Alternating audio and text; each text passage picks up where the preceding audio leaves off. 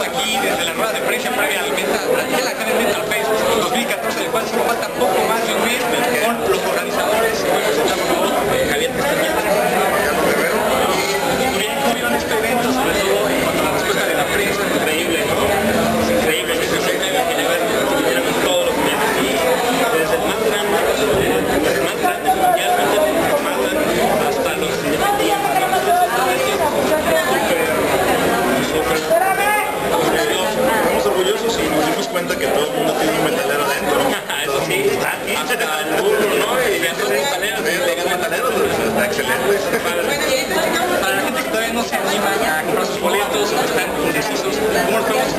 todo en cuanto a los extras? Es decir, más allá de la carta de Gel, el estilo de Genes, ¿cómo invitarlos? Porque sabemos que hay muchos extras sorpresas, como la lucha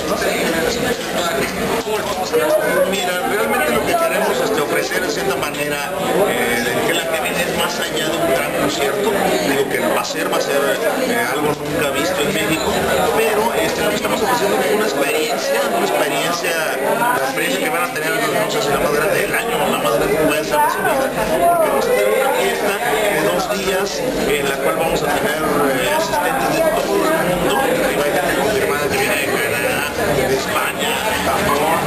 tener a todos los metaleros de México ahí presentes y vamos a tener cientos de va a haber performance, va a haber desfiles de moda, exhibiciones de estrenos, va a haber luchas, va a haber este, un homenaje al cine de horror, va a haber mil cosas que hacer, va a ser una gran fiesta como una feria que puedan imaginar la mejor que haya habido, pero el tema que va a ser el metal, el tema va a ser la música en vivo, van a ver las estrellas del rock, van a ver espectáculos eh, que son considerados los más grandes del mundo, como lo de Kiss,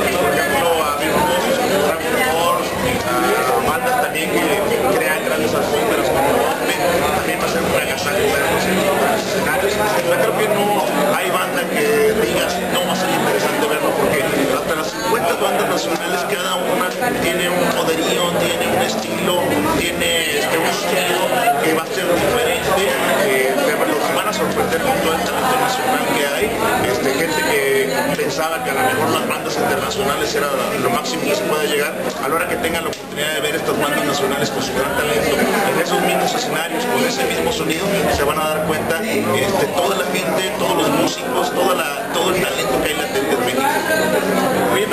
Para toda esa gente que sigue pensando que los metaleros somos gente que estamos escribiendo bebés sin cruces nada más,